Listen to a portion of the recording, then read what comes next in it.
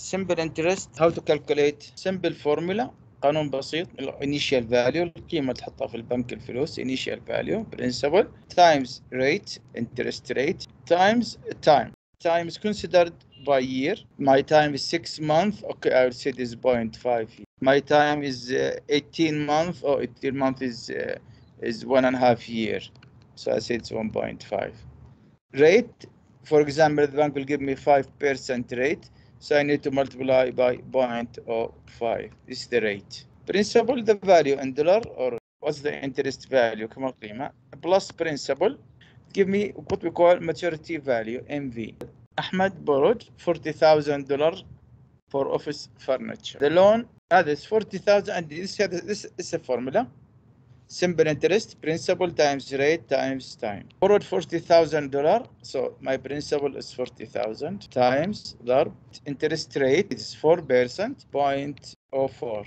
ضرب time T time is 6 months and 6 over 12 or 6 months 0.5 year we multiply together at the this is the interest interest is 800 dollars 800 plus 40,000 is maturity value and V 40,000 plus 800 40,800 is maturity value the same example but for one year the loan loan was for one year so I expect the interest will be more uh, for six months $800. If it is for one year, I'll expect to be to be $1,600. 40 times 0.4 times one year, 1,600 this interest. Again, maturity value If it's for 18 months, so the interest will be 40 times divide this one, get $2,400. Exact interest and ordinary interest. Exact interest, قانون interest equal principal times rate times time.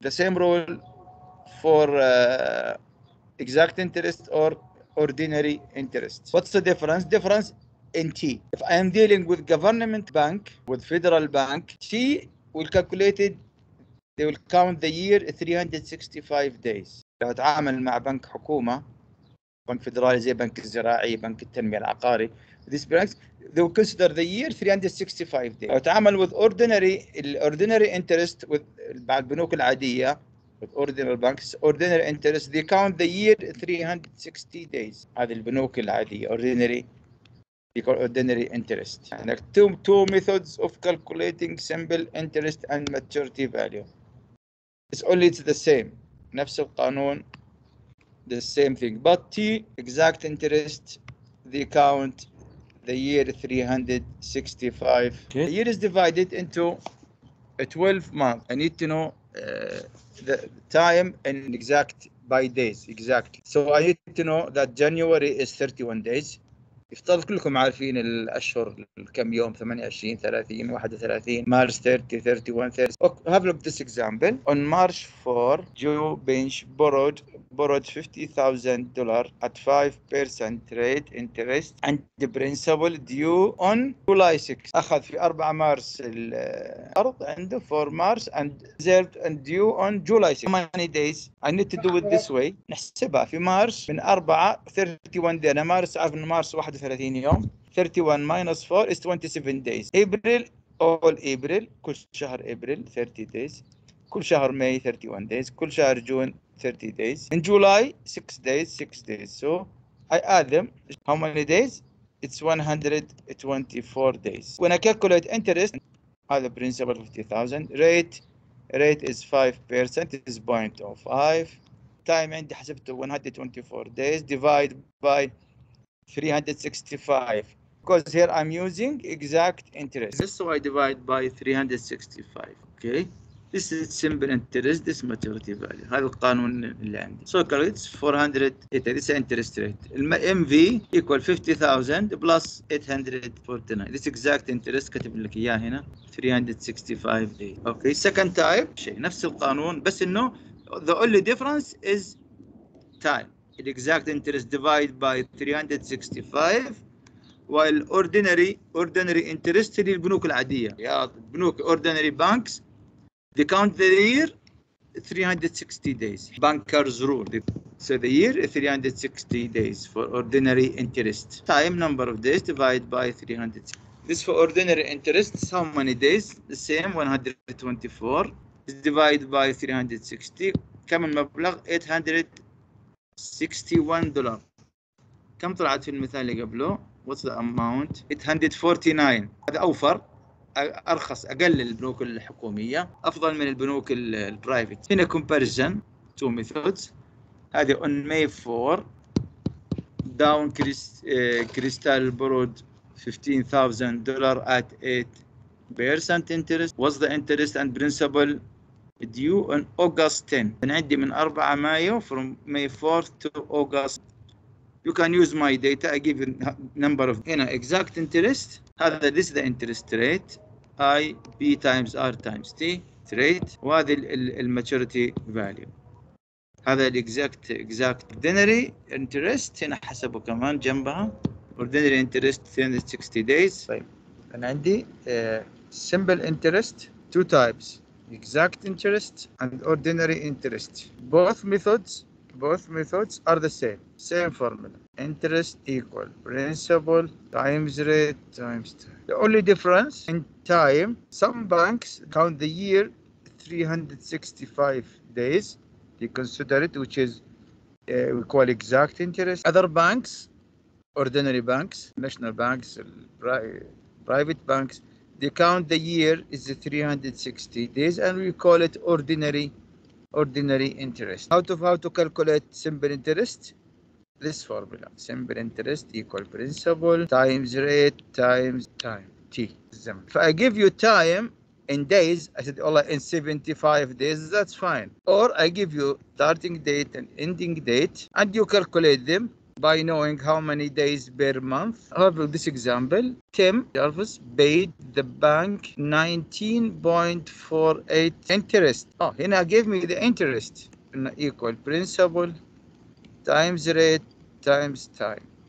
أعطانا interest قال لي interest is 19.48 dollars هذا الانترست this interest equal at 9.5 percent الريت 9.5 يعني uh, 0.095 هذا الريت في T 90 days أنا ما أشوف 90 days I need to know am, am I divide on 360 or on 365 I read in the question how much did borrow use using ordinary interest يعني divide by 360 so this 90 days divided by 360. What's the answer? What's the question here? The question, how much did Tom borrow?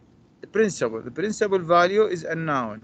In a principal majhul. Interest, give me the interest, give me the rate, and give me the time. Ask for principal. هذه طلعت 800 من تكتب بي 0.095 times 90 divided by 6 don't round ما تختصر في الإجابة هذه ما تقرب اكتب write it all, all, all the result because if you make rounding, this the final answer will be little dream. He give me interest and give me rate and give me time and ask for principal. Other case, he give me interest, أعطاني interest, give me principal, give me time and ask for interest rate. This days, time, 90 days. What rate? كم البنك أعطاني 5% 6% what's the rate, bank rate? 820 times 90 divided by 360 and divide on both sides to get R, R equals R equal 9.5. The answer should be 0.095. Third case, give me interest and give me principal and give me rate and ask for time using ordinary ordinary interest يعني المقام كم؟ numerator على 360 حيكون 90 days I can divide 90 days duration. By day, it's already okay, 90 days. Making partial note payment before due date. This is called US rule. هنا any any particular loan payment first covers any interest. يبين advance بعد قبل ما ينتهي المدة يدفع جزء من المبلغ ما يدفع كل المبلغ. Partial loan payment. The bank will take interest of the remaining part. The bank first will take interest in the remaining part. شوف المثال this example. gave 5000 دولار at 4% 3000 دولار على 4% 90 days note. On day 50 في اليوم ال 50 Joe pays 600 دولار on the note. يوم 50 أنا عنده هو ال loan كم؟ ماخذ ال loan 90 يوم. قرض حقه 90 days. On day 50 في اليوم ال 50 he paid 600 دولار وفي اليوم ال 80 on day 80 he paid another 800 دولار additional additional payment دفعة ثانية 800 دولار طبعا assume 360 days year عشان تحسب ال rate على تقسم على 300 وتجيب لي adjusted balance after day 50 and after day 80 what's the ending balance اول خطوه first step نحسب ال interest rate عند يوم ال 50 the bank want to find the find the rate كم الانترست ريت كم الفائده على ال 50 يوم these 50 days so 5000 times 0.04 0.04 times 50 divided by 360 27 0.78 دولار يعني ال 5000 دولار هذه اللي اخذها من البنك ودفع he paid he paid 600 so 600 minus this interest rate 600 minus interest rate دفع 600 البنك حيخصم منها الفائده for 50 days the rate interest rate for 50 days which is 27 dollar 27.78 600 minus 27 so the answer is 500 يعني كأنه دفع 572 دولار مو 600 في اليوم ال 50 البنك أخذ الانترست الفائده حقته منها.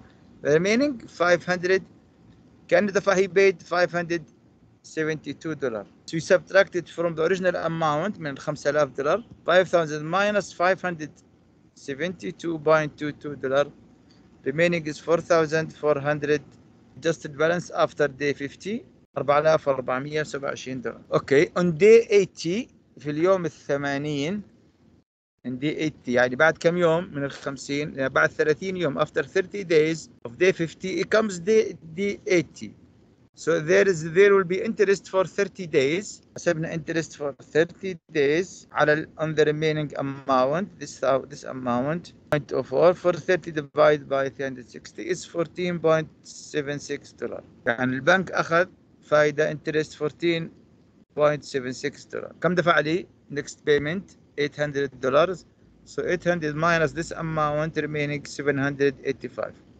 bank reduces uh, interest rate we reduce it from the 4000 dollar remaining 3642 his, his balance after 80 days comes 3642 okay what's the remaining at the balance ending balance what's the ending balance يعني بعد 90 يوم how many days from 90 to 80 it is 10 days for this 10 days bank find the interest interest is 4 dollar for these 10 days this 4 dollar will be added جمع على added to this amount 3600 So this is final final adjustment adjustable balance his final balance 3646 شوف المثال هذا 40000 دولار loan at 4% dated June 10 is due to be paid on October 11 October 11 what is the interest here what is the amount of interest هنا قال لك إيش ordinary ordinary interest interest يعني يعني يقسم على 360 this 40000 this principal this is rate 4% الدايز حسبت من 10 جون ل 11 اكتوبر إلى اتس 122 دايز يطلع لو ضربناه في بعض حيطلع لي كم قيمه ال interest هاي تمارين this principal this interest rate this time what's the simple interest هذا simple interest equal principal لو 7800 times rate 4 وربع يعني 4.25% لما احولها decimal هنا 0.0425 هذه ضرب. ال time الزمن 18 شهر يعني كم سنة؟ 18 شهر.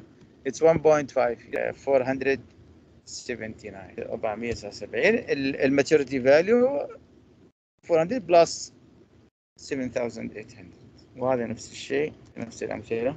هنا أعطيتك principal here I give you uh, principal for 400 دولار interest 5% what is the time عند القانون هذا ال principal principal for 400 راح احسبها مباشرة بالقانون هذا ال I equal principal times rate times t time is unknown interest simple interest is 100 دولار هذا الانترست 100 البرنسبل 400 الريت ريت كم الريت 5% يعني 0.05 times t نقسم الطرفين على 400 times 0.05 نفس الكلام the same same answer it comes 5 5 years طبعا answer in years should be written in years answer here in years and executive borrowed 52000 دولار يعني استلف 52000 دولار أوكي هذا البرنسبل the loan was for 15 months كتب لي المدة 15 شهر